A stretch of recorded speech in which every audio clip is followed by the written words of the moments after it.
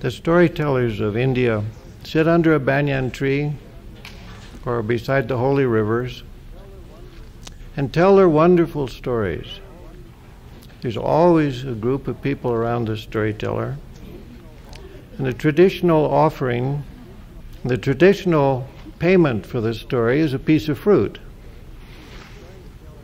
And the storyteller has a wonderful hold over his audience because if they haven't brought him enough to eat for that day, he talks so much under his voice like this that they know they're not going to get an audible story till somebody goes off to the fruit market and gets him some more fruit.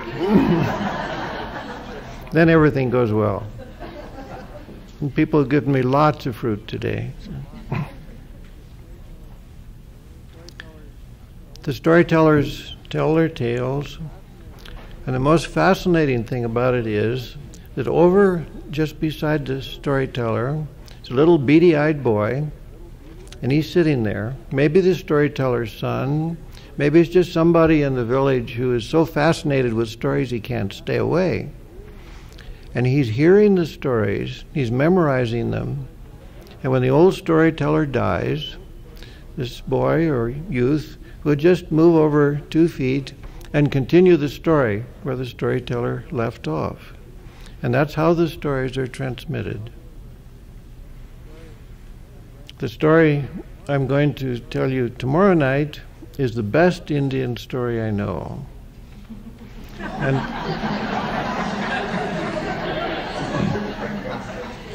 And the tale I will tell you tonight is the next to the best story that I know. Tonight is a relatively short one. Tomorrow night is a longer one. Once there was a king, and though he was a young man, he was a very, very fine king. Everyone in his kingdom loved him. The kingdom prospered, and there were good times in that kingdom. Everyone was so grateful that they had a good king. The king did his business well, he was wise, he was humane, he was kind. You just couldn't wish for a better king. He had a fine wife, he had a wonderful harem, he had many servants, the palace was fine. The whole kingdom was a model of what a kingdom should be.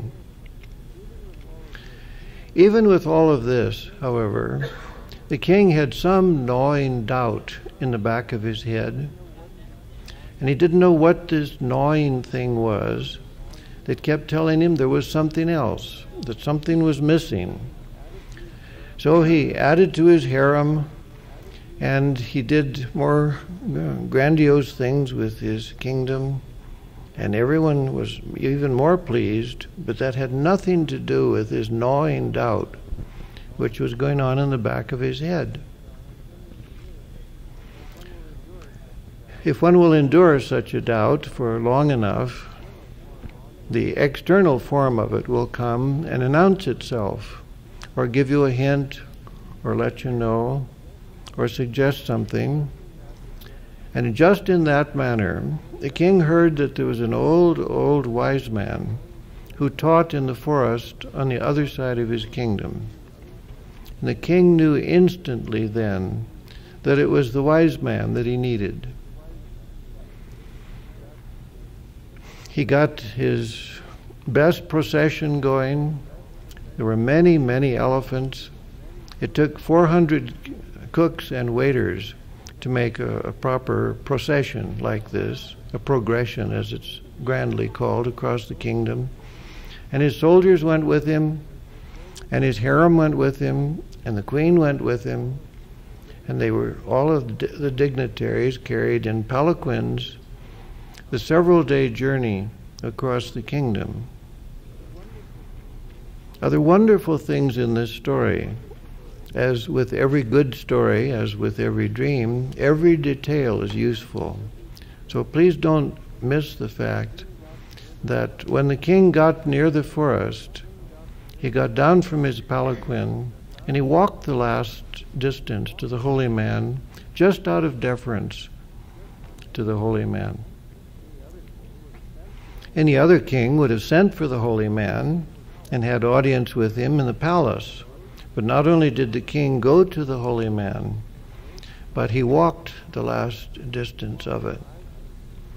He arrived at the presence of the holy man and was struck, awestruck, nearly dumb, at the presence of the old man, who sat only in his loincloth and with his begging bowl, and a few people around him who had devoted their lives to the old holy man.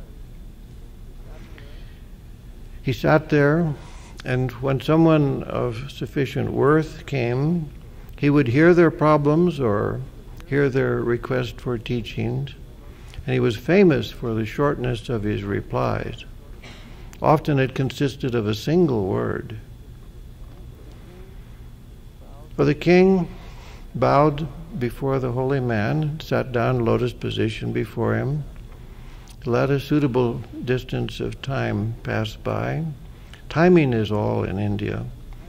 If you can understand the timing of something, you have made yourself known told your character and opened up an exchange which not only will have content but will have timing, which makes music of it.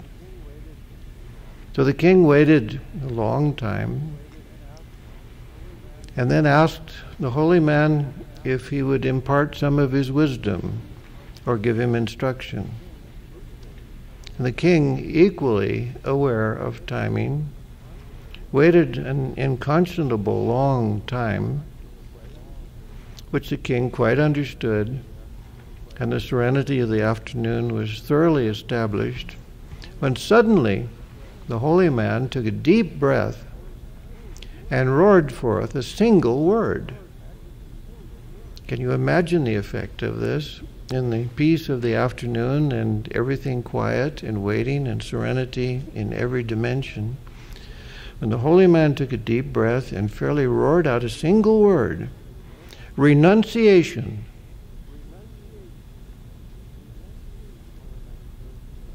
And the holy man closed his eyes again and made it quite clear that that was the sum total of his advice. Now, the king, nearly blown over backwards with this, after a suitable time again, Remember the timing of such moments. It's of great, great importance.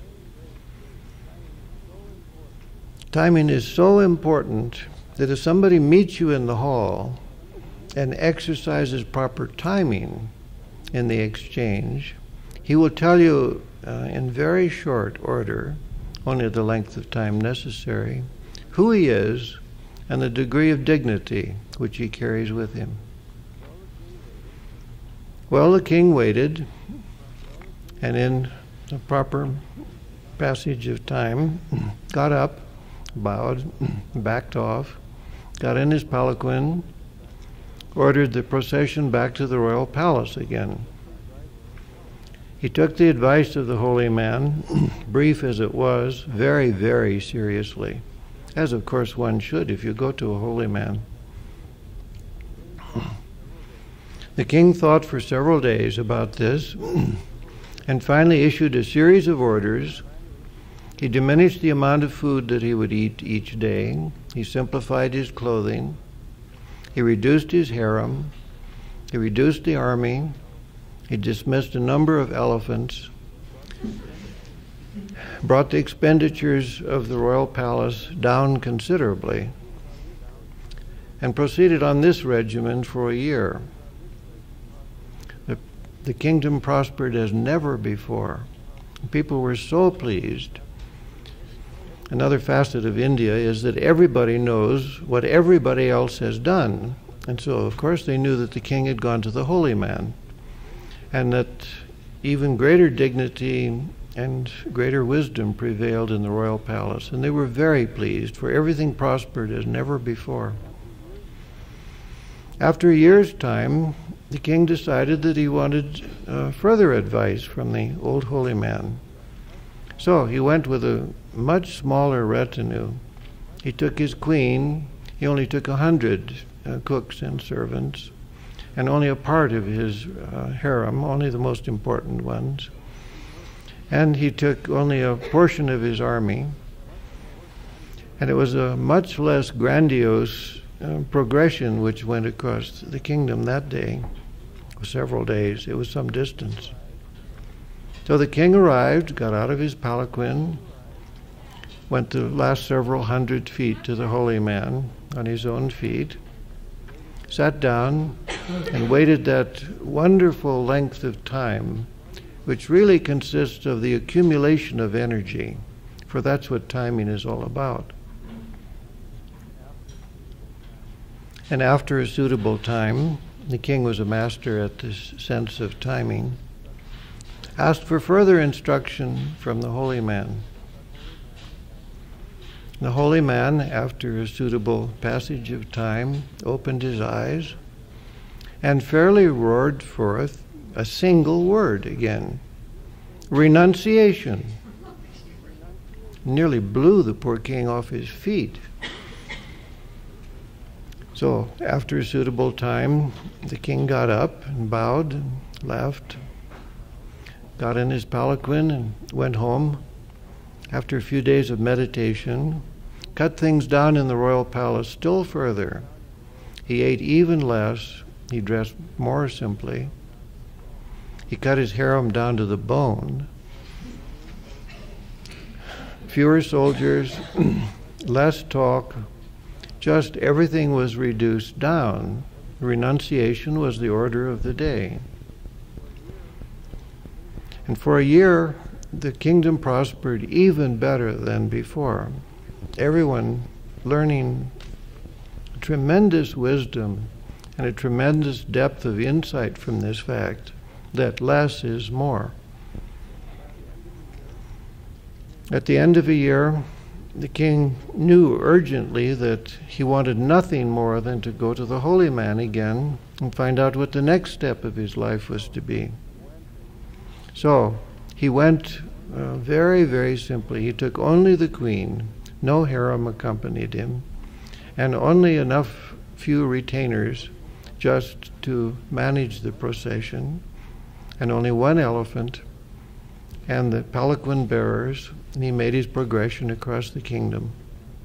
He came to the old holy man, who seemed not to have changed a particle sat himself down before the holy man, waited that wonderful length of time of appropriateness, finally asked the holy man again for further instruction and teaching. And again, that wonderful passage of time, which is really the great hallmark of India. And the holy man suddenly opened his eyes and took a deep breath and fairly roared forth a single word renunciation. The king, not too surprised this time, went back to the royal palace, dismissed his harem entirely, unheard of for a king ate only one meal a day of the simplest food, saw only a few of the emissaries which came on royal business, clothed himself very, very simply, and silence and austerity was the order of the palace. Well, the kingdom prospered even better. The king could hardly wait for a year that's a discreet uh, distance between teachings from a real holy man, you know. And he went on his own two feet with two companions at the end of the year, found his way to the holy man, who was still sitting there. The king sat himself down before the holy man, and after the long pause, which is really the essence of virtue, asked for further teaching from the holy man. And the holy man this time waited an inconscionable long time, much longer than before, before he suddenly opened his eyes and roared forth a single word renunciation. Well, the king really was set back on his heels this time because what further renunciation is possible? After a discreet time, he backed off a little and leaned against a tree. What further renunciation could be made? He thought he was up against the bare bone now. No harem, one meal a day, no retainers. But he believed absolutely the old holy man.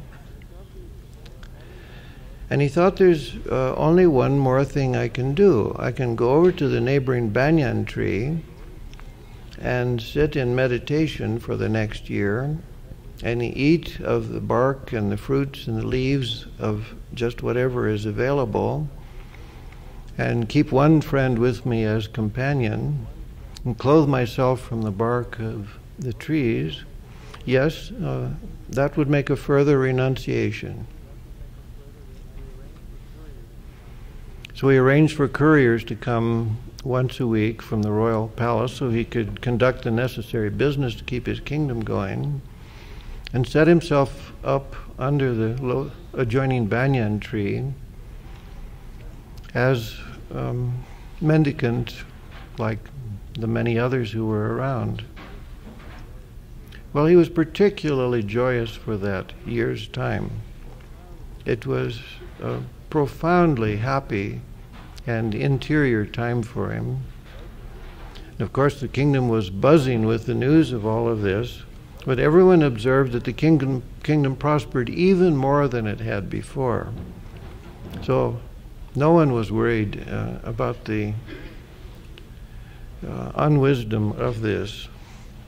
At the end of a year, the king uh, said, I will go again. But his voice caught in his throat as he said this because what is the holy man going to do next?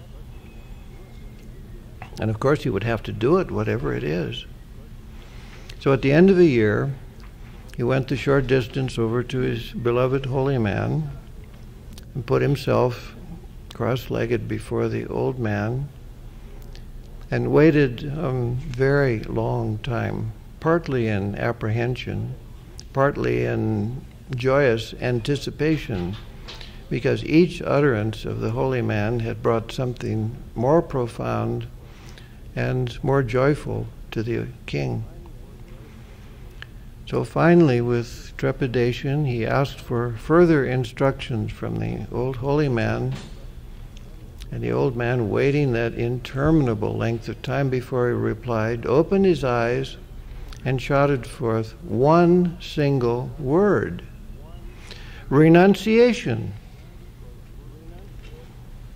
Well, the poor king, because he knew there was only one more renunciation that is possible of a human being, and that is to renounce your own life. So he went over to his banyan tree, sat down, not to take food again until the end of his life. This was the, re- the only renunciation that was left to him, or so he thought.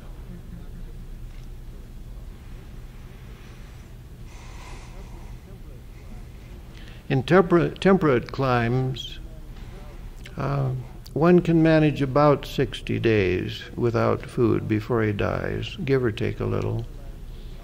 But in the warmer lands of India, uh, not so long. So, in less than a month, the king knew that he had arrived at the next to the last day of his life.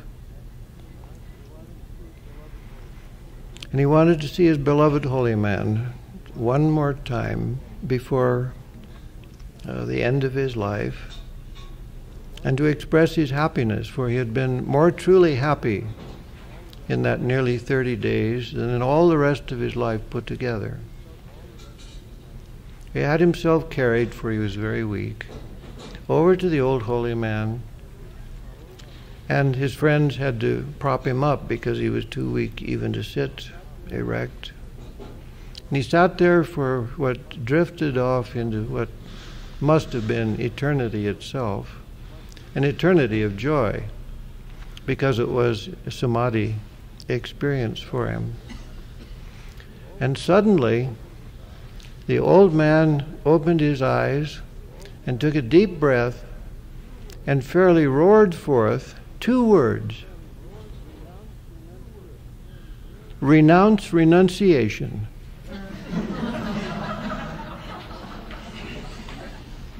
Whereupon the king was enlightened. He suddenly saw what the ultimate renunciation is. He had himself carried back to the palace. He took food. He restored the glory of the palace back to its most opulent state. He restored his harem to full size. The uh, required number of elephants were restored. The army was brought to full size. Food was luxurious. Clothing was uh, of its most magnificent. And this young man, he was still a young man, became the greatest king in all of the history of India.